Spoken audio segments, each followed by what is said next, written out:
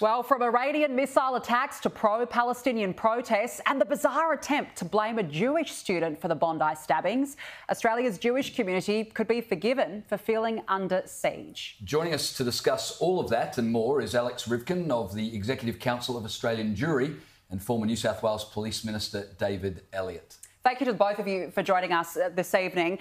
Uh, David, we'll start with you. I want to ask you firstly, though, about the police response to this, because as we've discussed earlier, there was so much uh, uh, conspiracy theories flying through Twitter. Police hadn't confirmed until today whether or not it was a terrorist incident. It is not a terrorist incident. But do you think police handled the situation correctly? Well, I think the police response was textbook from the from from uh, uh, the deputy commissioner that took command straight away, Tony, to um, indeed Amy, the inspector who uh, took out the offender. I think the minister and the commissioner have both come in at the right time. So I think public confidence will be at an all-time high. Mm-hmm. I think um, public appreciation of the police will be at an all-time high.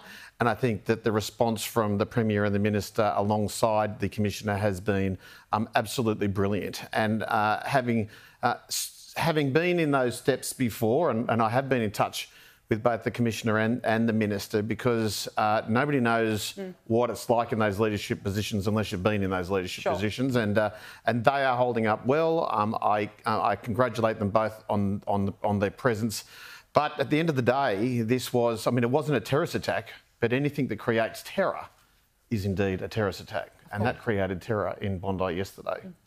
Alex, uh, let me go to you for a moment. Just talk to me about how the Jewish community are feeling, because of course, when this first happened, a lot of people assumed uh, this is a terror attack. We now know, as David said, it wasn't.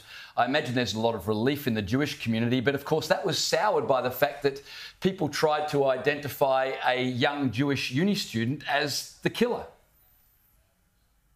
Yeah, well, Danica and I spoke just a few days ago on Friday, and at that point in time, the world was troubling and complex enough. And then in the intervening days, we've seen one of the most horrific incidents I can recall as an Australian, which happened in my backyard, very close to where I live, a place where I go with my family on, on at least a weekly basis.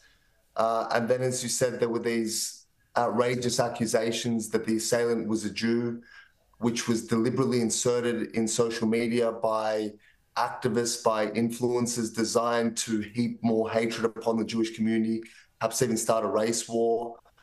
And then we saw the appalling scenes from Israel, where we had a horrific act of war by Iran. So it's been, you know, a harrowing, chilling period of time for the Jewish community, which we're kind of used to with the past six months. But um, certainly the attack at Bondi Junction was a horrific thing. And once the initial fear that this was a terror attack passed, our primary concern as all Australians was for the dead, for the injured, for the fact that something like this could happen in our country, in our suburbs, in our shopping centres.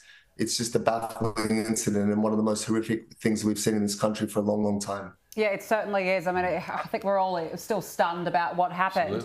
Um, just moving forward now, David, there are mass anti Israel protests planned around the country for tomorrow. Protesters are promising to block key choke points to inflict economic pain. Now, these organisers have refused to give police details in order to create maximum disruption. What will the police response to this be like? Well, that's an offence. If you're uh, protesting and you don't have a police permit, well, that's that's an offence. Nobody denies. The police certainly are the last ones to deny anybody the right to express their political opinion in Australia, but if they're doing it without the appropriate authority, well, that's a offence. Can, can, I ask you something on that? Because a lot of people say during COVID, do you remember police arrested a woman for posting about a protest on Facebook? Mm. So if it's an offence, why haven't police gone and sought out the leaders of these protests planned well, for tomorrow and taken, uh, you know, well, I, would be very surprised if they don't know exactly who's um, uh, going to be organising the protest tomorrow, and I'd be very surprised if those people aren't under surveillance mm. um, by a number of law enforcement agencies, both here and overseas. Mm. But um, my message to um, uh, the police was that you know they will get all the political air cover they need from most reasonable politicians if they take the maximum amount of authority or use the maximum amount of authority they've got available to yeah, them. Yeah, yeah. Alex, just a question to you on that. As this pro-Palestine protest is uh, scheduled across the country tomorrow, how is the Jewish community feeling about it? Well, I think like all Australians, we're sick and tired of this stuff. And we've seen for six months, we've seen from the very evening of the October 7 attacks, before Israel even commenced its response to those atrocities, people on our streets celebrating, glorifying unspeakable crimes against civilians. And we've been seeing it on a rolling basis throughout our country. And we've had enough. I mean, these protests masquerade as being about, you know, peace and calls for a humanitarian ceasefire. But when you probe deeper and look at the rhetoric, the signs, the chants, the individuals who are driving these protests, they want war. They want killing. They just want Israel to lose.